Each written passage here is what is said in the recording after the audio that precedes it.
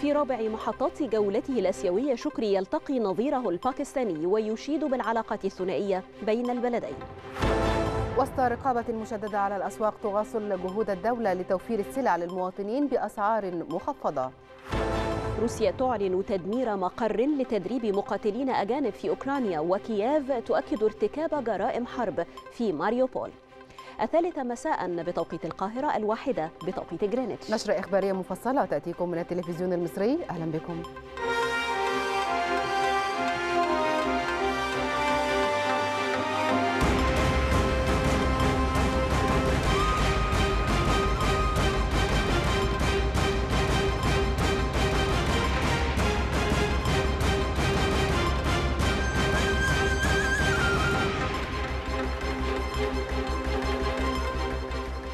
أشاد وزير الخارجية سامح شكري بالتطورات الإيجابية التي شهدتها العلاقات الثنائية بين مصر وباكستان مؤكدا حرص مصر على دفع التعاون بما يعزز قدرة البلدين على مواجهة تحديات مشتركة. جاء ذلك خلال لقاء وزير الخارجية بنظيره الباكستاني محمود قريشي لدى وصوله العاصمة الباكستانية إسلام آباد في رابع محطات جولته الأسيوية. وأعرب الوزيران عن تطلعهما إلى استمرار التواصل الوثيق على كافة المستويات والتنسيق على الصعيدين الثنائي والدولي. كما استعرض عددا من القضايا الإقليمية والدولية ذات الاهتمام المشترك. وأعرب شكري عن تقديره لاستضافة باكستان للدورة رقم 48 لمجلس وزراء خارجية منظمة التعاون الإسلامي المقررة في إسلام آباد يومي الثاني والعشرين والثالث والعشرين من مارس الجاري.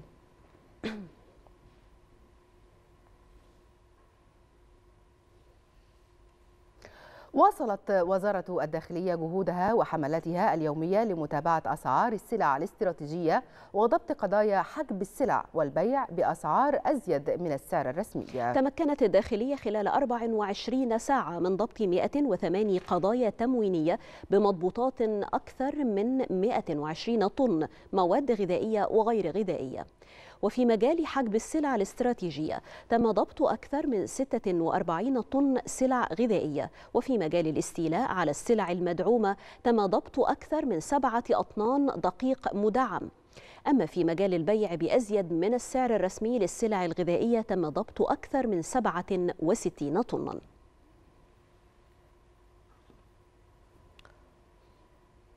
تواصل أجهزة الدولة جهودها في طرح السلع الغذائية بكميات وفيرة وأسعار مخفضة تصل لأكثر من 20% بمختلف منافذ المجمعات الاستهلاكية ذلك تنفيذا لتوجيهات الرئاسية وللمزيد تنضم إلينا مراسلة التلفزيون المصري جيرمين إبراهيم من داخل إحدى المجمعات الاستهلاكية بمحافظة الجيزة يعني جيرمين ماذا لديك؟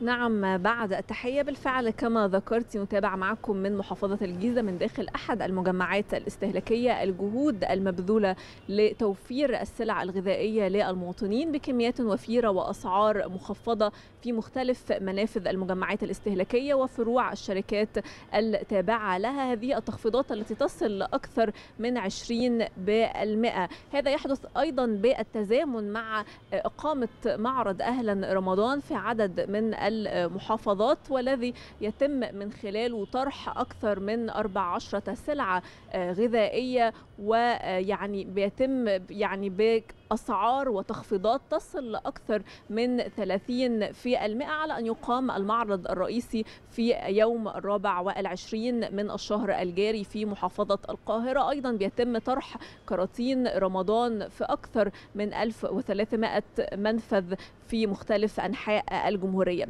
بالتزامن مع كل هذه الجهود بيتم أيضا تكثيف الدور الرقابي من خلال الأجهزة الرقابية سواء من وزارة التموين أو أو أيضا جهاز حماية المستهلك لضبط أي محاولات لاحتكار أي سلعة أو رفع الأسعار على المواطنين من خلال أيضا توفير وتخصيص غرف عمليات في مختلف مديريات التموين بمختلف المحافظات يعني من خلال تواجدنا على مدار الساعة الماضية في هذا المجمع الاستهلاكي في محافظة الجيزة وجدنا إقبال من المواطنين كبير على شراء السلع الغذائية خاصة مع فروق الأسعار والتخفيضات الموجودة. فهنا اللحوم الطبيعية الطازجة السودانية بتطرح ب 95 جنيه اللحوم المجمدة بتبدأ من 75 جنيه وأيضا الدواجن بيبدأ سعرها من 48 جنيه إلى جانب يعني الأسعار الموجودة بالخاصة بمنتجات شهر رمضان الكريم. فاليميش رمضان بتبدأ الأسعار من 24 جنيه إلى جانب طبعا السلع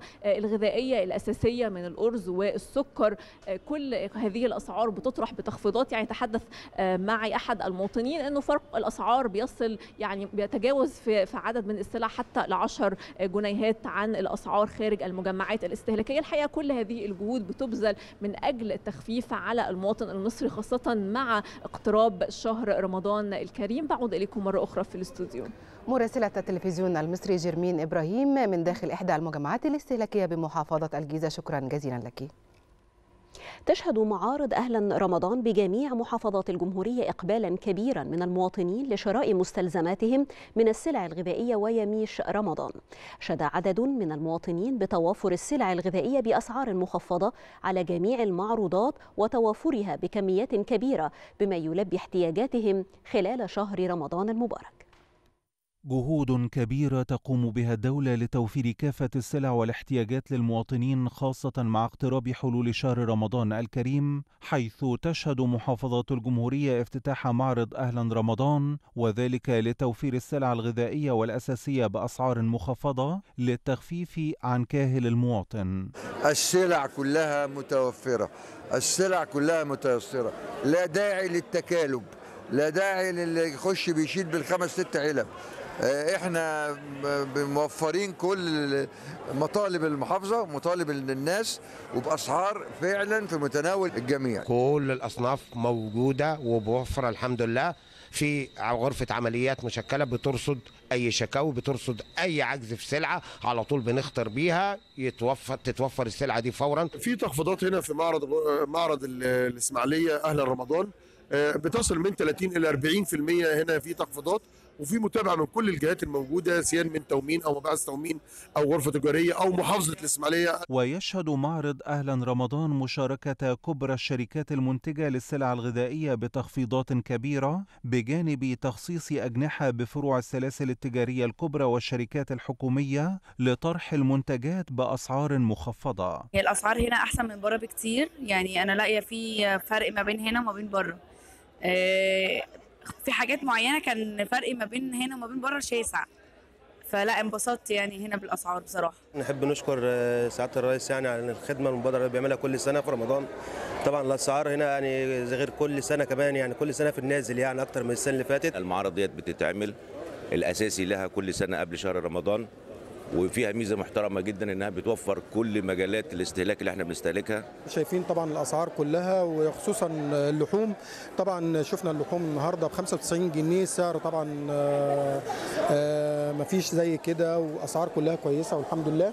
عندنا كل أصناف اللحوم من البتيلو ولحم موزة ولحم مفروم ولحم قطع. الأسعار في متناول الجميع كما يشهد المعرض مشاركة 53 شركة عارضة بمختلف السلع الغذائية والاستهلاكية بما يفي بكافة متطلبات الأسرة بأسعار أقل من مثيلاتها بالسوق. ويأتي المعرض بالتزامن مع الحملات المكثفة المتواصلة للتأكد من ضبط الأسعار ومراقبة الأسواق واتخاذ كافة الإجراءات القانونية اللازمة تجاه المخالفين.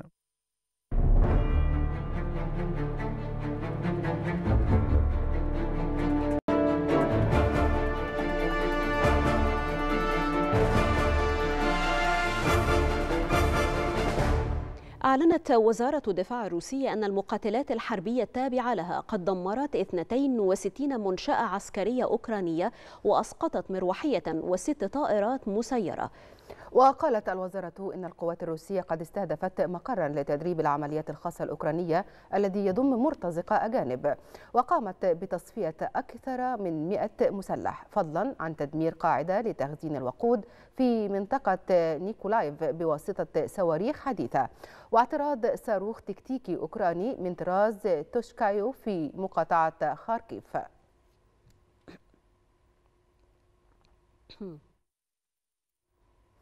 قال الرئيس الأوكراني فولوديمير زيلينسكي إن حصار مدينة ماريوبول الساحلية سوف يدون في التاريخ بسبب ما تشهده من جرائم حرب ارتكبتها القوات الروسية. أضاف زيلينسكي أن ما فعلته القوات الروسية بمثابة إرهاب سيبقى في الذاكرة لقرون.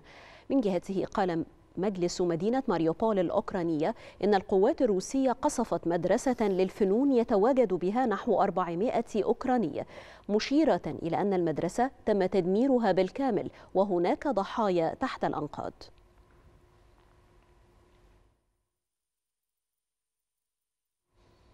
أكدت روسيا لليوم الثاني على التوالي أنها قد استخدمت صواريخ فرط صوتية وذلك خلال العمليات العسكرية في أوكرانيا. وأوضح بيان لوزارة الدفاع الروسية أنه تم استخدام الصواريخ لتدمير مخازن وقود صواريخ للجيش الأوكراني في جنوب البلاد.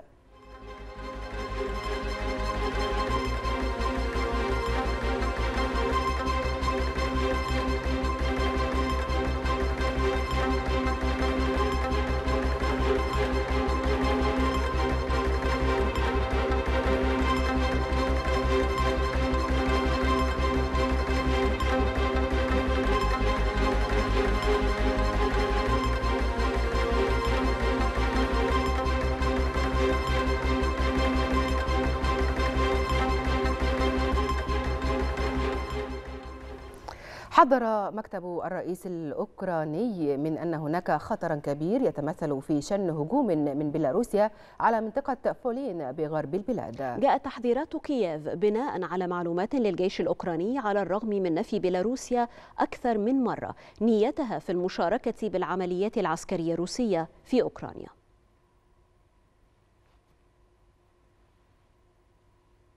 أكد رئيس مجلس النواب الروسي الدوما فاتشيسلاف فولودين أن الولايات المتحدة توجد حيث مصالح حيث مصالحها الاقتصادية فقط في حين أن الهدف الروسي من العملية العسكرية الخاصة في أوكرانيا هو إنقاذ المواطنين ونزع سلاح القوميين في أوكرانيا. أضاف فولودين أن الولايات المتحدة تزعم نشر الديمقراطية عبر سياسة العقوبات لكن ذلك يخالف الواقع فهي تسعى فقط لتحقيق أهدافها. وشدد رئيس الدوما على أن مساعي موسكو تختلف عن واشنطن حيث تهدف لحفظ أمن مواطنيها.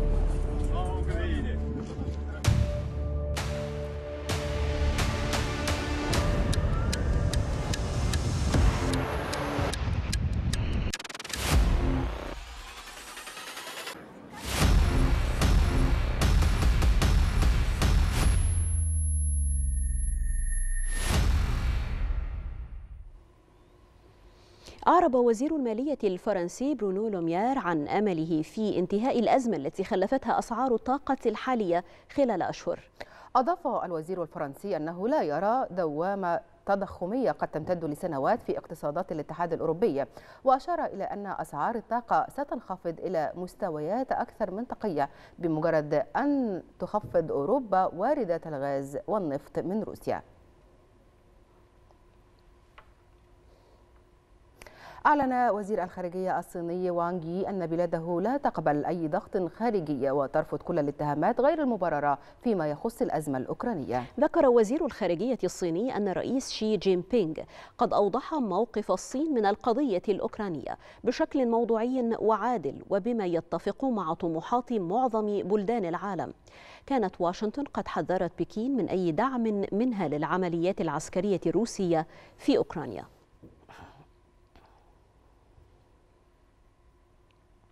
أكد الرئيس السويسري أن بلاده مستعدة للعب دور الوسيط في تسوية النزاع في أوكرانيا واستضافة المفاوضات بين موسكو وكييف. دعا الرئيس السويسري إلى فتح ممرات إنسانية على الفور ويذكر أن وزير الخارجية الروسي كان قد أكد في وقت سابق أن سويسرا تقدمت بمبادرة أداء دور الوسيط في المحادثات بين روسيا وأوكرانيا مشددا على أن موسكو ترفض التوسط من قبل أي دولة قد انضمت إلى العقوبات المفروضة على موسكو.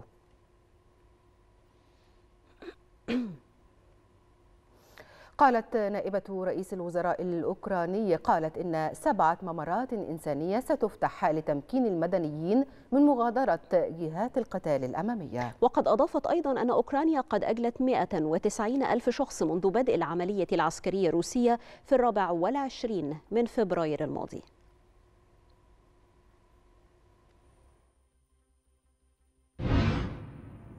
الأزمة الأوكرانية لم تعد صراعا عسكريا فحسب مع تصاعد الجانب الإنساني منها الذي بلغ حد المأساة. أكثر من ثلاثة ملايين وثلاثمائة ألف أوكراني تحولوا في غضون أسابيع ثلاثة إلى لاجئين تقطعت بهم السبل فيما نزح نحو ستة ملايين وخمسمائة ألف أوكراني داخل البلاد وفق ما أعلنت الأمم المتحدة. المفوض السامي للأمم المتحدة لشؤون اللاجئين فيليبو جراندي يشير إلى أن الأرقام تقفز بسرعة كبيرة مع تلاشي الحلول الدبلوماسية للأزمة المستعرة حيث ينضم أكثر من 58 ألف شخص يوميا إلى صفوف اللاجئين. مفوض الأمم المتحدة كشف أن نحو 90% من الفارين نساء وأطفال إضافة إلى كبار السن كما أشارت المنظمة الدولية للهجرة التابعة للأمم المتحدة إلى أن من بين اللاجئين نحو 162 ألفا من الوافدين إلى أوكرانيا. المفوضية السامية للأمم المتحدة المتحدة لشؤون اللاجئين كانت قد قدرت في البداية أن أربعة ملايين شخص كحد أقصى قد يغادرون أوكرانيا البالغ عدد سكانها 37 مليون نسمة لكن المنظمة اعترفت الأسبوع الماضي بأن هذا الرقم يمكن أن يكون أكبر. بولندا أكثر الدول استيعابا للاجئين الأوكران بما يبلغ 60% من الأرقام المعلنة متجاوزة مليوني لاجئ بينما جاءت رومانيا ثانية باستيعابها لأكثر من نصف مليون أوكراني.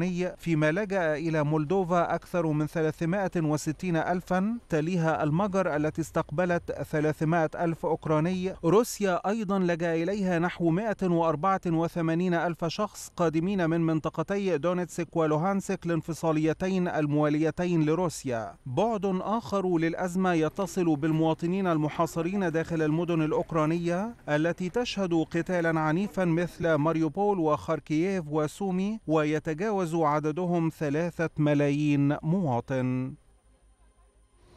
أفادت شركة غازبروم الروسية أن تواصل ضخ الغاز لنقله إلى أوروبا عبر الأراضي الأوكرانية كالمعتاد ووفق طلبات المستهلكين.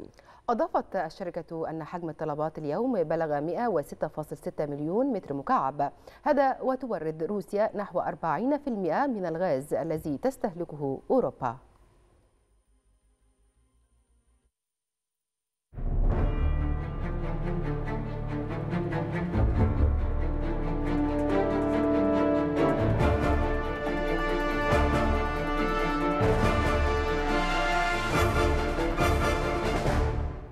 أعلنت وزارة الخارجية إدانة مصر لمواصلة قوات الحوثي هجماتها صوب أراضي المملكة العربية السعودية والتي كان آخرها استهداف عدد من المنشآت الاقتصادية والمدنية فجر اليوم بطائرات مسيرة وصواريخ باليستية. أضافت الخارجية أن مصر تؤكد أن استهداف هذه المنشآت الحيوية والمدنية في السعودية يعد تصعيدا جسيما واستهدافا لأمن وسيادة المملكة وتهديدا مباشرا للأمن والإستقرار. الاستقرار في المنطقة. كما أكدت الخارجية على تضامن مصر ووقوفها جنبا إلى جنب مع المملكة العربية السعودية فيما تتخذه من إجراءات وتدابير في مواجهة استمرار هذه الأعمال.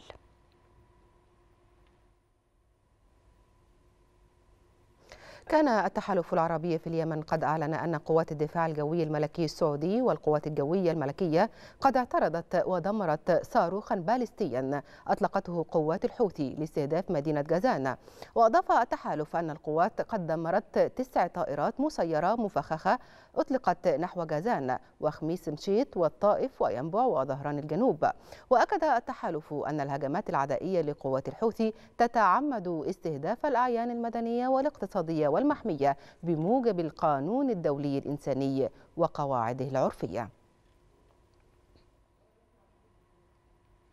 أعرب مبعوث الأمم المتحدة الخاص باليمن عن ترحيب المنظمة الدولية بمبادرة مجلس التعاون الخليجي لعقد مشاورات بشأن التسوية السياسية باليمن في الرياض خلال الأسابيع القادمة. قال المتحدث باسم الأمم المتحدة إن المنظمة تدعم جميع المبادرات التي تسهم للتوصل إلى تسوية سياسية تفاوضية جامعة للنزاع في اليمن.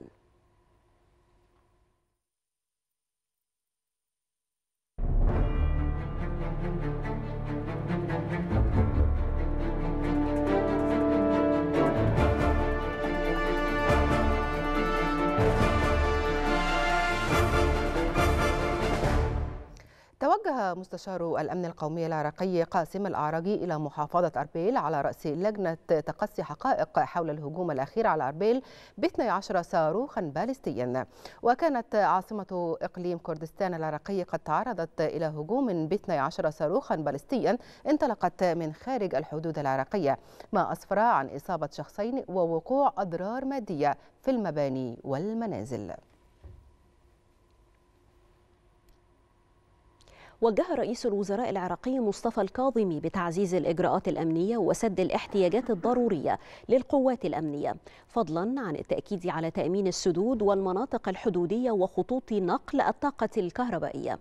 جاء ذلك خلال اجتماعه مع قيادات الأجهزة الأمنية في نينوى حيث اطلع على آخر الإجراءات المتخذة من قبل الأجهزة الأمنية في نينوى لاستدامة الأمن والاستقرار في المحافظة.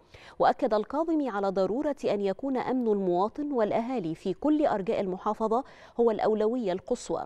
ووجه رئيس الوزراء العراقي باتخاذ الاستعدادات كافة وبتفعيل الجهد الاستخباري الاستباقي خلال شهر رمضان المبارك.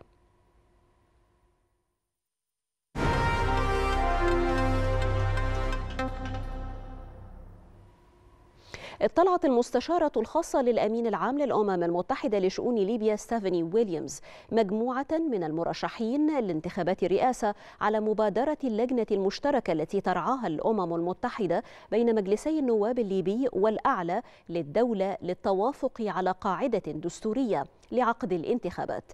أضافت ستيفاني ويليامز في تغريدة لها إلى أن المشاركين قد شددوا خلال هذا اللقاء على أهمية تكثيف كافة الجهود لإعادة العملية الانتخابية إلى مسارها الصحيح مشيرة إلى أنهم طرحوا مبادرة أخرى في حال عدم نجاح المباحثات بين المجلسين. ووصفت ويليامز هذا النقاش الذي تبادلته مع مجموعة من المرشحين للرئاسة الليبية حول المبادرة بالنقاش المميز.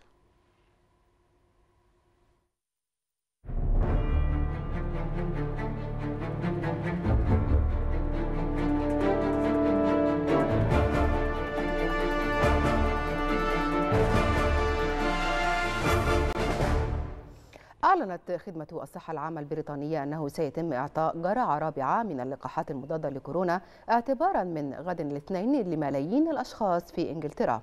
ستعطى جرعة اللقاح الرابعة للأشخاص الذين تزيد أعمارهم على 75 عاما. وكذلك لمن يعانون نقصا في المناعة ويبلغون من العمر 12 عاما وما فوق. وكان مكتب الإحصاءات الوطنية في بريطانيا. قد أكد أن عدد المصابين بفيروس كورونا قد ارتفع مؤخرا في المملكة المتحدة مع تسجيل مستويات قياسية من الإصابات في اسكتلندا. ذكرت جامعة جونز هوبكنز الأمريكية أن حصيلة الإصابات المؤكدة بفيروس كورونا حول العالم قد ارتفعت إلى 469 مليون و714 ألف حالة. وأوضحت الجامعة أن إجمالي الوفيات جراء الإصابة بالفيروس حول العالم قد ارتفع إلى 6 ملايين و74 ألف وفاة. وأشارت الجامعة إلى أن الولايات المتحدة قد سجلت أكبر عدد من حالات الإصابة حول العالم تلاها الهند. ثم البرازيل.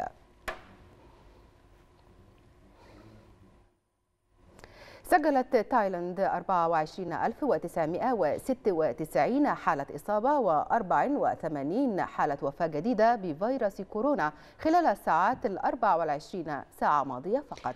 بذلك ارتفع العدد الإجمالي لحالات إصابات كورونا منذ بداية الجائحة إلى 3 ملايين و353 ألف إصابة. بينما بلغت حصيلة الوفيات 24246 حالة.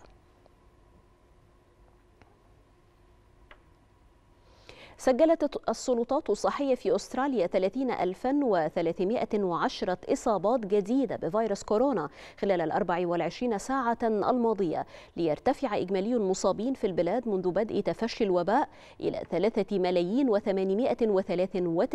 ألف حالة. أشارت وزارة الصحة الأسترالية إلى أن إجمالي الوفيات جراء الإصابة بالفيروس في البلاد بلغ 5725 حالة بعد تسجيل ثلاث وفيات جديدة.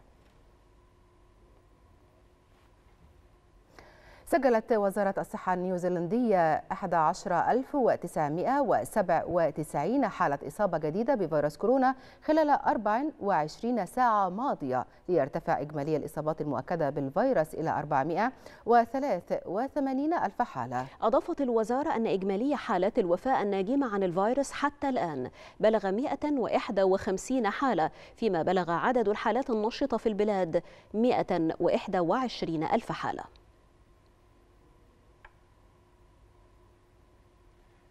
سجل معهد روبرت كوخ الألماني لمكافحة الأمراض رقما قياسيا في معدل الإصابة بفيروس كورونا في البلاد خلال ساعات الأربع والعشرين الماضية بلغ 131792 حالة. وذكر المعهد أن عدد حالات الوفاة الناجمة عن المرض خلال نفس الفترة بلغ 49 حالة مشيرا إلى أن إجمالي عدد حالات الإصابة بالفيروس منذ بدء تفشيه في ألمانيا في ربيع عام 2020 قد بلغ 18 مليون و553 ألف حالة. قالت الرئيسة التنفيذية لهونغ كونغ كاري لام إنها تعتزم مراجعة قيود كورونا. ذلك بعد أيام فقط من الاعتراف بأن مؤسسات مالية كثيرة بدأت تفقد تفقد صبرها إزاء السياسات المتعلقة بالفيروس. تطبق المدينة بعضا من أكثر قواعد كورونا صرامة في العالم مع حظرها الرحلات الجوية من تسع دول من بينها أستراليا وبريطانيا بالإضافة إلى فرض حجر صحي في الفنادق لمدة تصل إلى أسبوعين للمسافرين القادمين. وقد فرضت المدينة أيضا حظرا على التجمعات التي تضم أكثر من شخصين في الوقت الذي أغلقت فيه معظم الأماكن العامة بما في ذلك الشواطئ والملاعب. وفرضت استخدام الكمامات وجعلت التعليم عن بعد.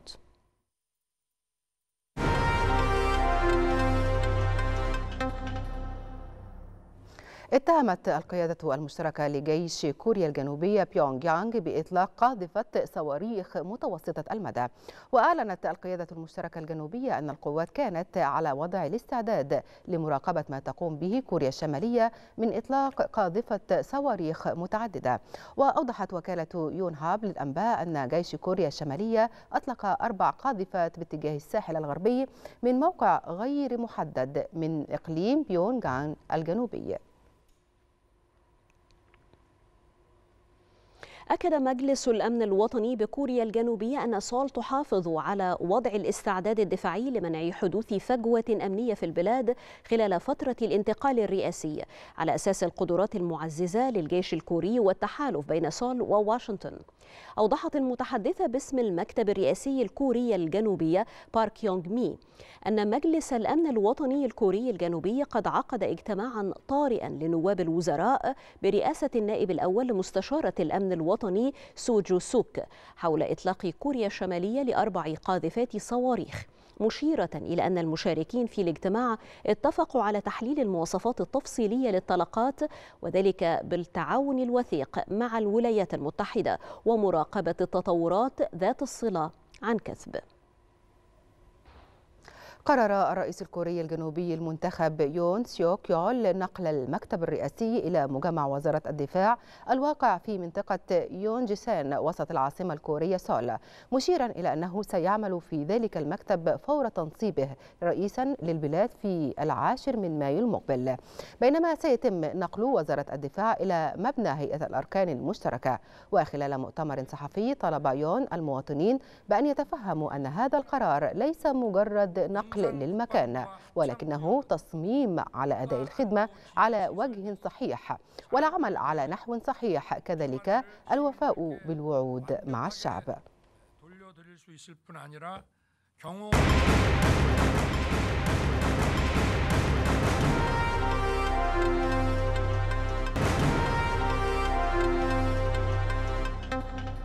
تحية لكم من جديد. لقي ستة أشخاص مصرعهم وأصيب أكثر من 30 آخرين بجروح متفاوتة من بينهم 12 في حالة حرجة وذلك من جراء عملية دهس استهدفت حشدا من المشاركين في كرنفال محلي ببلجيكا. ذكرت وسائل إعلام ألمانية أن سيارة قد اصطدمت بمجموعة من الأشخاص يحتفلون بكرنفال في بلدة ستريبي باراكيز ببلجيكا مشيرة إلى أن الشرطة نجحت في إيقاف السيارة.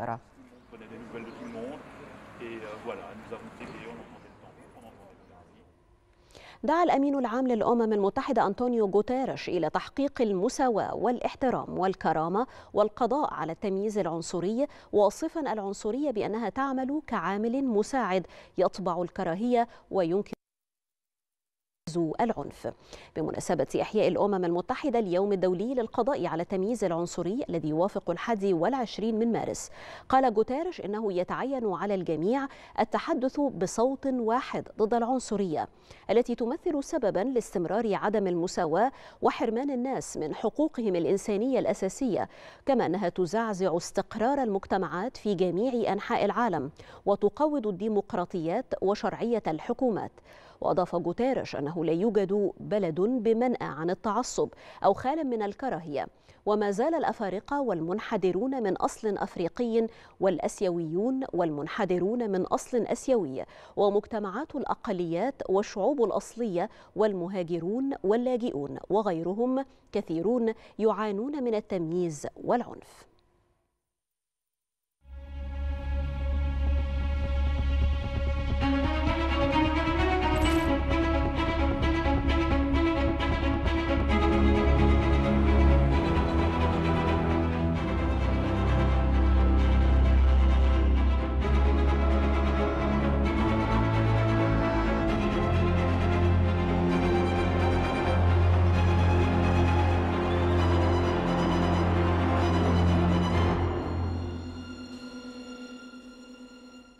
دمرت حرائق غابات 86 منزلا ومعظم بلدة كاربون بولاية تكساس الأمريكية في الوقت الذي تسببت فيه أربعة حرائق غربي دالاس في حرق 54 ألف فدان. وأعلن حاكم تكساس اعتبار 11 مقاطعة في الولاية الأمريكية مناطق كوارث كما أمر بتنكيس الأعلام في مقاطعة إستلاند تكريما لنائبة قائد الشرطة باربرا فانلي التي لقيت مصرعها خلال عملية إنقاذ المواطنين. اتساع رقعة المناطق المعرضة لخطر حرائق الغابات تحد كبير تواجهه العديد من الدول حول العالم خاصة في ظل التغير المناخي الذي يعد عاملا أساسيا لحرائق الغابات شديدة الخطورة. فرغم تكيف العديد من الدول في التعامل مع هذا النوع من الحرائق إلا أنها لم تصل بعد إلى القدر الكافي لمجابهة ووقف هذه الحرائق التي يتوقع أن تزداد سوءا خلال السنوات المقبلة. ولاية تكساس الأمريكية تشهد حرائق واسعة في الغابات التهمت 54 ألف فدان وحولت 86 منزلا إلى ركام لا يصلح للعيش به مرة ثانية فضلا عن حالة كبيرة من الفزع والخوف سيطرت على المواطنين ومصرع نائبة قائد الشرطة التي كانت تساعد المواطنين على الفرار والنجاة بأرواحهم وأطفالهم من نيران الحرائق. هيئة الإطفاء في تكساس كشفت أن نحو 85% من بلدة كاربون تعرضت للاحتراق كما قرر حاكم تكساس جريج أبوت اعتبار 21 مقاطعة في الولاية مناطق كوارث موجها بتنكيس الأعلام في مقاطعة إستلاند تكريما لنائبة قائد الشرطة التي لقيت مصرعها. وفي لندن الوضع لا يختلف كثيرا حيث أعلنت السلطات البريطانية أن حرائق غابات اندلعت في مستنقعات خارج مدينة ليفربول الإنجليزية مشكلة تهديدا للممتلكات القريبة مشيرة إلى أن حريقا ضخما نشب حول محمية بارك جيت الطبيعية في شبه جزيرة ويرال الواقعة على بعد نحو 11 كيلومترا جنوبي ليفربول. أضرار حرائق الغابات لا تتوقف على مناطق اندلاعها فقط بل تمتد إلى العالم أجمع حيث كشفت منظمة كاربون بريف الخاصة بالمناخ أن الحرائق تعد مسؤولة عن مقدار كبير من انبعاثات غازات الاحتباس الحراري على مستوى العالم وتتسبب فيما بين 5 إلى 8% من إجمالي حالات الوفاة المبكرة سنويا الناجمة عن تلوث الهواء والبالغة 3.3 من عشرة مليون حالة وفاة سنويا وهو الأمر الذي يتطلب تكاتفا دوليا للتصدي لهذا النوع من الحرائق.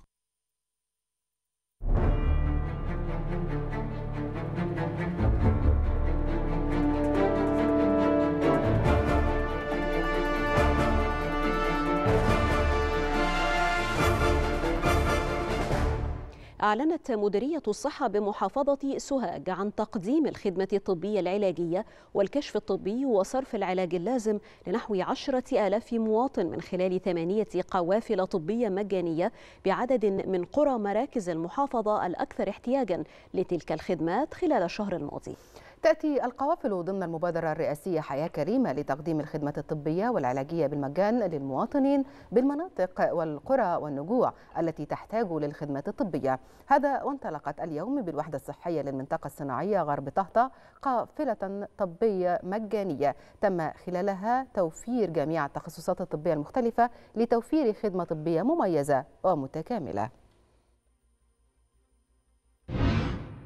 موجودين جميع التخصصات الطبية في المستشفى والأطباء يقومون بالتوقيع الكشف الطبي وهناك في استجابة جيدة من المواطنين لتوقيع الكشف الطبي وتقديم الخدمة الطبية بالمجان والعلاج بالمجان. نشكر جميع القائمين على القوافل الطبية ونرجو استدامة واستمرار وتطوير القوافل الطبية في جميع المحافظات.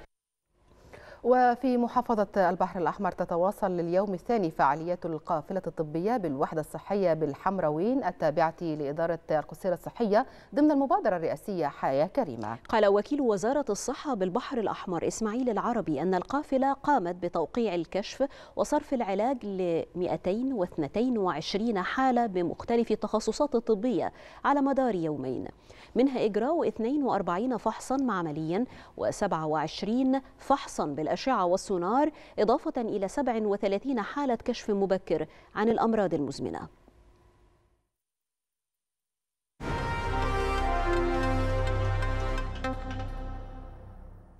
نشر مركز المعلومات ودعم اتخاذ القرار بمجلس الوزراء تقريرا حول تحويلات المصريين العاملين بالخارج خلال السنوات الأخيرة والتي شهدت ارتفاعا وصل إلى 72% من الفترة بين 2015 إلى 2021 وقد سجل حجم التحويلات في 2021 مستوى غير مسبوق ووصل إلى 31.5 مليار دولار ذلك مقارنة بنحو 29.6 مليار دولار في 2020 و26.8 مليار دولار في 2019 ونحو 18.3 مليار دولار في عام 2015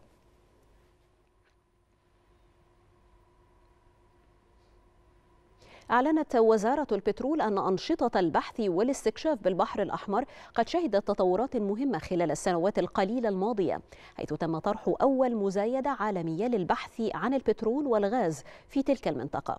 أكد وزير البترول طارق الملا أن أعمال المسح السيزمي ثلاثي الأبعاد على على مساحة 6700 كيلو متر مربع في البحر الأحمر. قد أوشكت على الانتهاء الأمر الذي يتيح القيام بأعمال البحث والاستكشاف.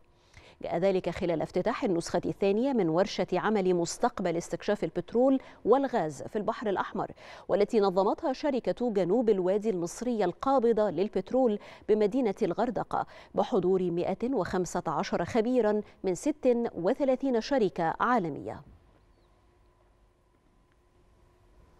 أشار تقرير لوزارة التنمية المحلية إلى أن إجمالي عدد المباني التي تمت إزالتها منذ بداية المرحلة الثالثة من الموجة التاسعة عشر لإزالة التعديات على أملاك الدولة قد بلغ 6511 مبنى على مساحة نحو مليون ومئة ألف متر مربع في جميع المحافظات. وأظهر التقرير أن الأجهزة التنفيذية في المحافظات قامت بإزالة 732 حالة تعد على أراضٍ زراعية أملاك دولة على مساحة 4635 فدان. يأتي ذلك تنفيذا لتوجيهات القيادة السياسية بإزالة جميع التعديات على أراضي أملاك الدولة والأراضي الزراعية وفرض هيبة الدولة والحفاظ على حقوق الأجيال القادمة. بدأت وزيرة التعاون الدولي رانيا المشاط زيارة لمحافظة أسيوط لتفقد عدد من المشروعات التنموية وذلك في إطار متابعة المشروعات الممولة من شركاء التنمية.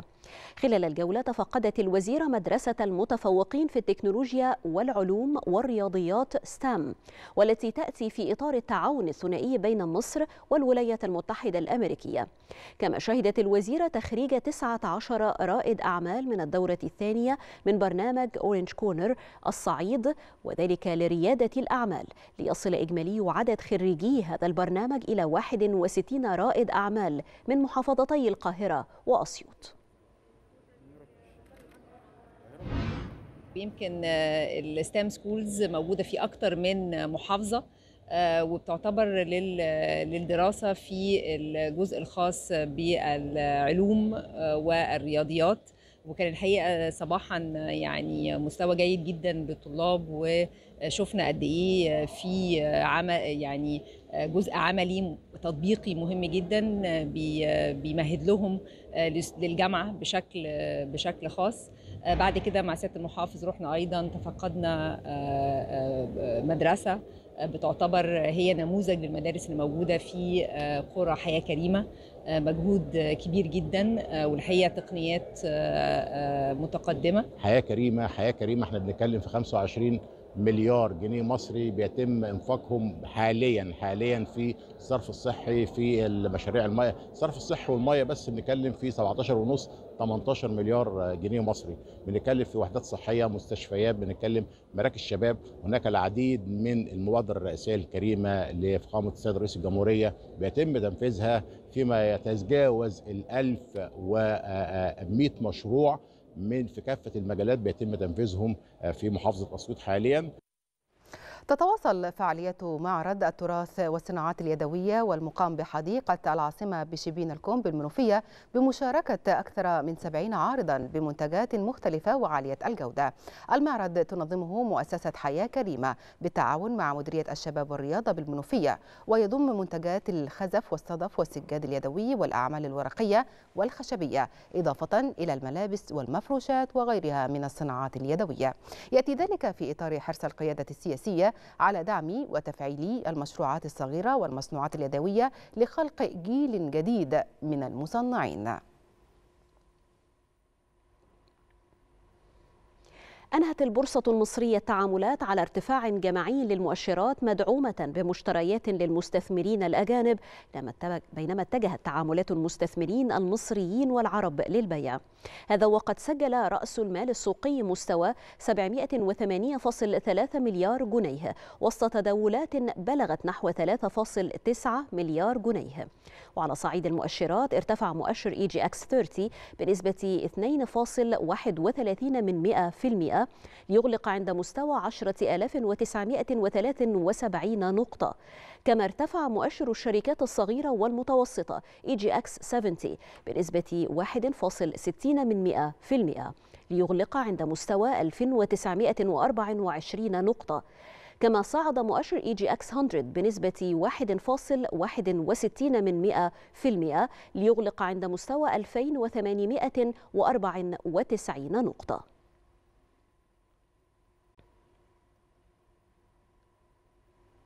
للمزيد من المتابعة والتحليل ينضم إلينا عبر الهاتف الأستاذ كريم عبد العزيز خبير أسواق المال. أستاذ كريم بعد التحية قراءتك وتقييمك لأداء البورصة اليوم. آه، بسم الله الرحمن الرحيم. طبعا هو الاداء النهارده كان متوقع. آه، نظرا لبعض التقارير اللي صدرت من مؤسسات آه، مالية كبيرة في في عطله نهاية الأسبوع. طبعا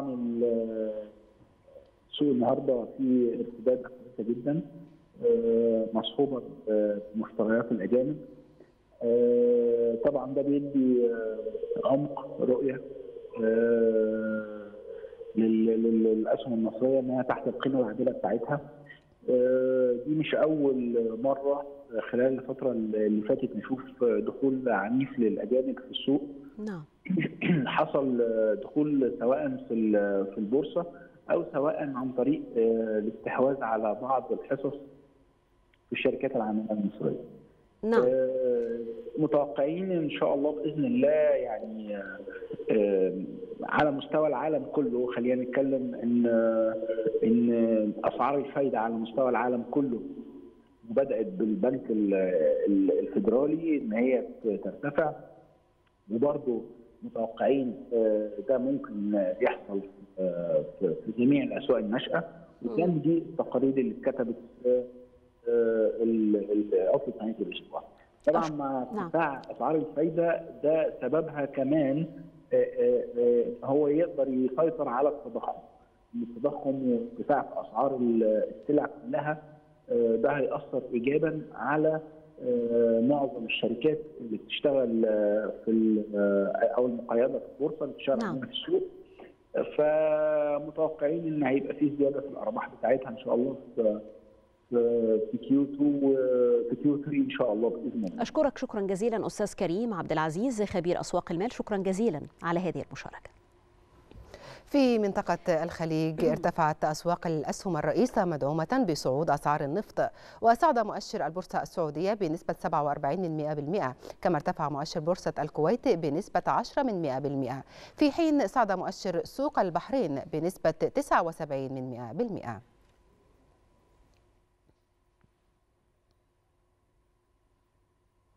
أعلنت شركة أرامكو عملاق النفط السعودي زيادة صافي الربح السنوي في 2021 لأكثر من الضعف مدعوما بارتفاع أسعار الطاقة. ارتفع صافي الربح إلى 110 مليارات دولار خلال العام المنتهي في الحادي والثلاثين من ديسمبر من 49 مليار دولار في العام السابق. وقد استفادت الشركة من زيادة بأكثر من 50% في أسعار النفط الخام العام الماضي في حين أدى ارتفاع حملات التطعيم ضد كورونا وتخفيف القيود المتعلقة بالجائحة إلى زيادة الطلب على المعروض من النفط. قال نائب رئيس الوزراء البلغاري أستين فاسليف إن بلاده لن تجري محادثات مع عملاق الطاقة الروسي غازبروم لتجديد صفقة شراء الغاز الطبيعي في ظل العملية العسكرية الروسية في أوكرانيا مضيفة أنها ستبحث عن إمدادات بديلة. هذا وتلبي الدولة العضو في الاتحاد الأوروبي جميع احتياجاتها تقريبا من الغاز من روسيا بموجب اتفاق مدته عشر سنوات مع شركة غازبروم ينتهي بنهاية العام الحالي. الحالي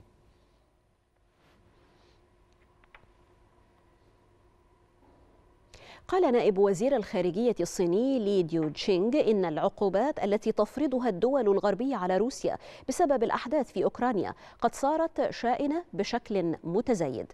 وذلك على حد وصفه. وأضاف تشينغ أن العقوبات تؤثر على النظام الاقتصادي والمالي كما تزيد من سوء وضع الاقتصاد العالمي. مشيرا إلى أن المواطنين الروس يتم حرمانهم من الأصول خارج بلدهم بدون سبب.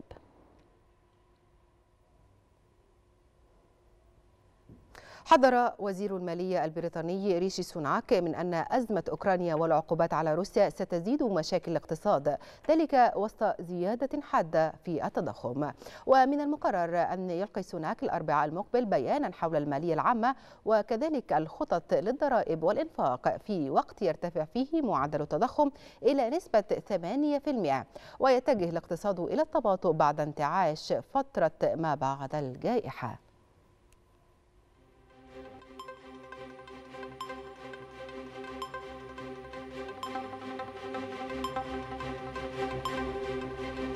وصلنا إلى ختام نشرة الثالثة على شاشة التلفزيون المصري ولا يتبقى سوى التذكير بأهم ما جاء بها من أنباء.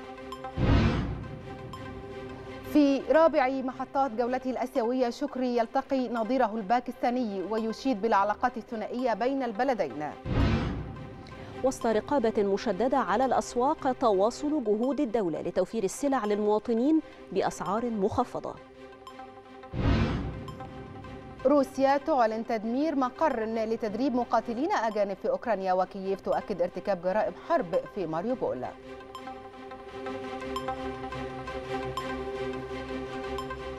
انتهت الثالثة. تحية لكم وإلى اللقاء. في أمان الله.